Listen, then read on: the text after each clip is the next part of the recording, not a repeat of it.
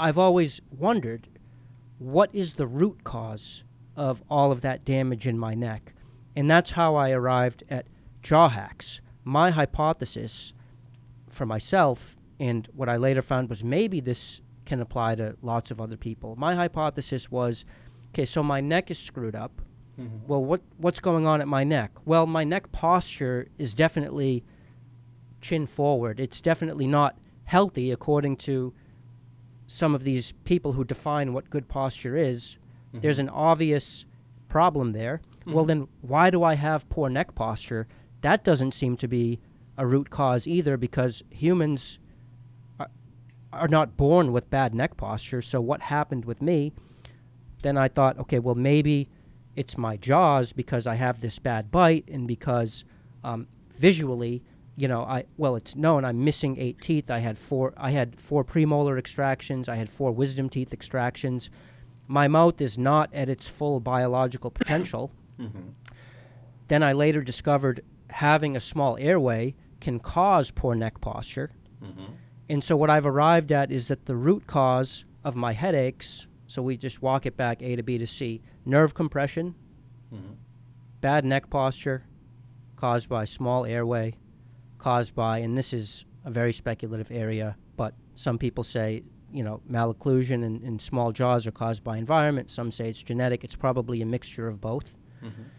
Um, what do you think of the idea that small jaws causing poor neck posture could be a root cause of compression of nerves in the neck. Yeah, I think it's actually a very plausible idea. I don't think that any anything that you just said is out of the realm of not only possibility but reasonableness. Um, and and I'll give you another perfect example. There was an article I ran into. This is about seven or eight years ago.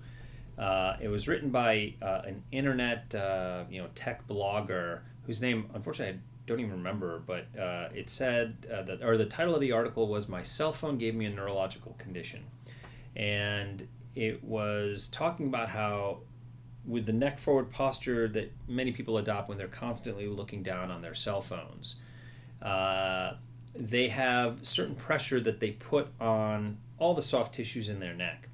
And in fact, the study was mated with a recent paper that was uh, just published at the time that showed that uh, with as little as 30 degrees of neck flexion, the amount of pressure per square inch was about 60 psi that you were putting on all the soft tissues, which of course includes arteries and veins and the airways and the nerves.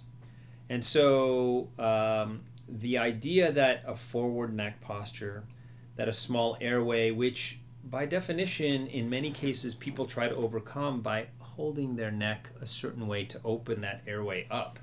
So you know Correct. these, uh, you know, when people have small airways, when people have obstructive sleep apnea at night, when their airways collapse for any number of reasons, they will hold their heads in certain ways to try and minimize that collapse to allow more oxygen to flow and so you can breathe. It's almost reflexive. Like if you put your finger on a hot stove, you don't think, hey, geez, my finger really hurts right now. Maybe I should move it away. It just moves away before you even can think, ouch, that really hurt.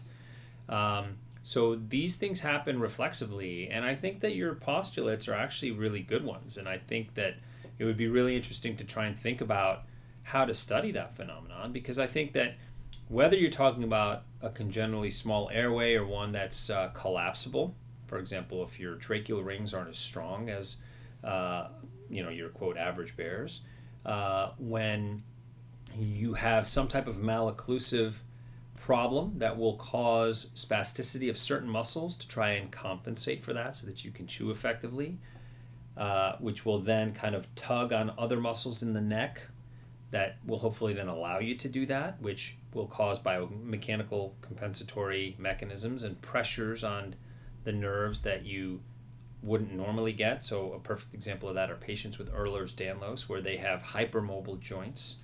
And so, you know, they, they're the kind of people that can take this in a million years i can't get my thumb to touch my wrist but these people will bend their thumbs you know my daughter can do this and her thumb touches her wrist you know when your neck joints move like that the nerves in the neck along with the arteries and blood vessels why a lot of those people will develop aortic aneurysms um, they will also get stretched in ways that you know they theoretically shouldn't, and that can cause all sorts of issues.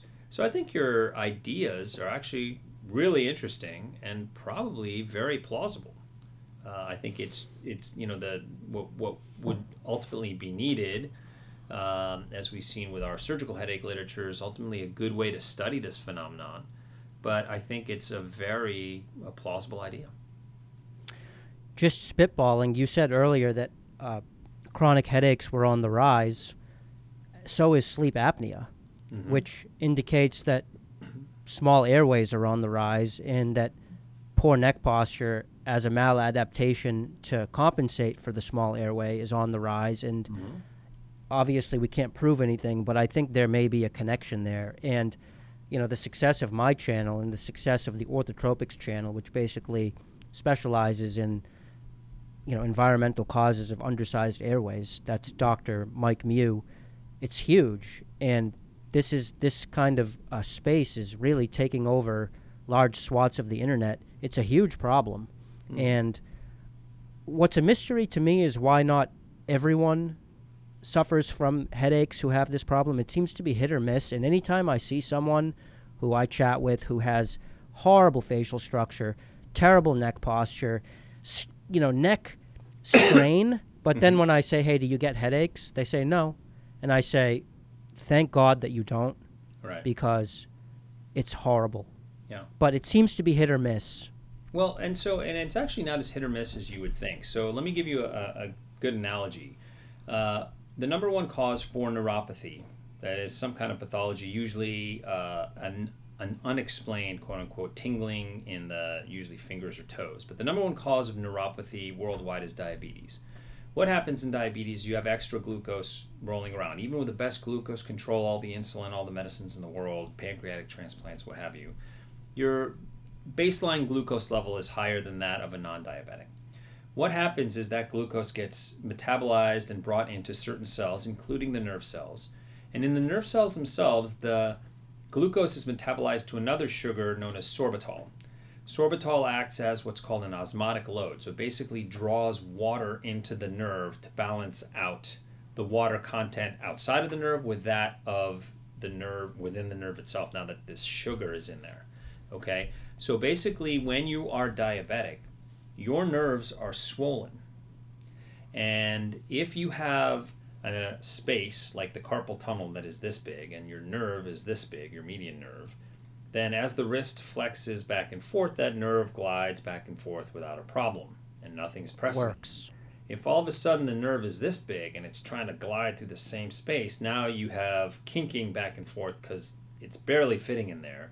And you get micro trauma that occurs repetitively over time, and eventually you become symptomatic. Now, the question is why, kind of like to the uh, story you were alluding to with you know people with horrible neck posture who don't have headaches why is it that there are people who have diabetes, they never check their sugars, they eat cake and things they shouldn't eat all the time, never get carpal tunnel syndrome?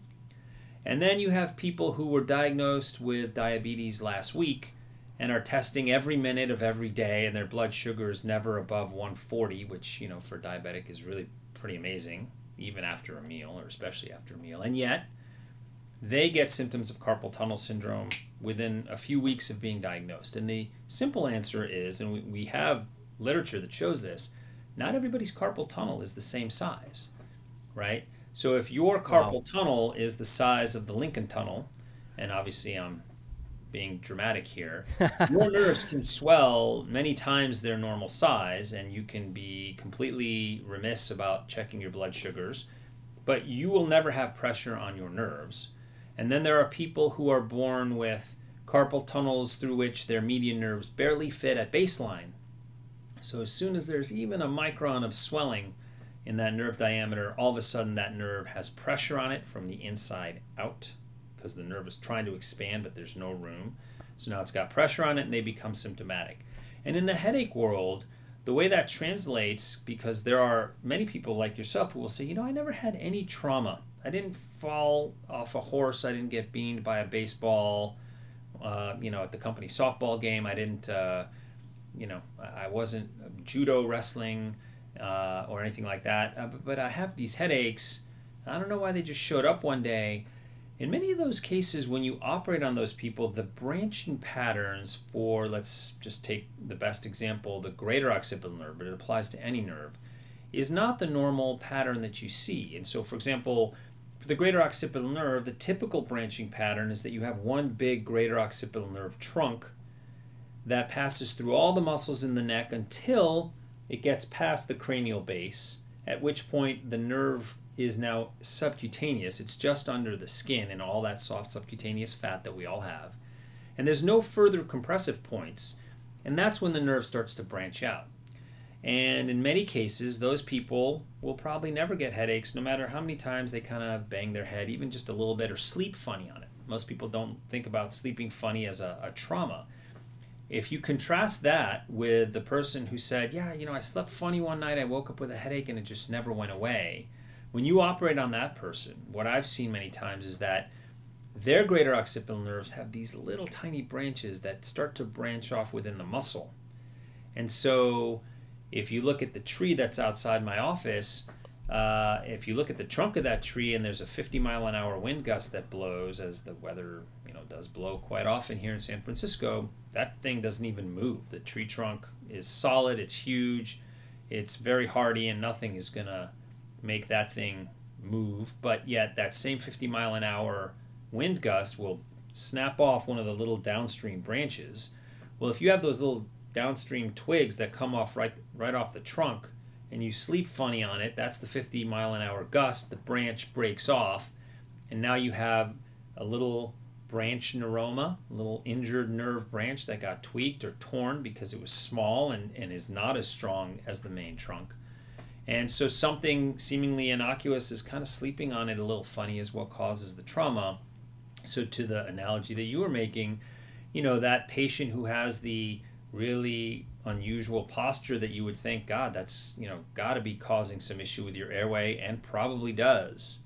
And that person does not have headaches. They might have the more typical branching pattern that is protective for becoming symptomatic, whereas someone who has that quote unquote abnormal branching pattern is predisposed to having issues when they have to move their neck even slightly off what is quote unquote normal.